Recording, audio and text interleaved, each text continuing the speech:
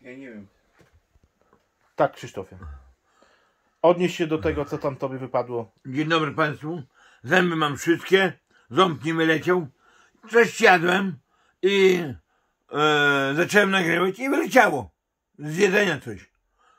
Może kawałek chlebka albo boczku. Bo tak szybko przeleciało, nie? No, Ząb na pewno, nie? nie, Na miejscu? na miejscu. Au! Jest, no to w porządku. Czyli to nie ząb. Nie, No i wszystko w temacie. Krótki taki film. Wyjaśniający. nie, ja, ja chcę jeszcze coś No to mów.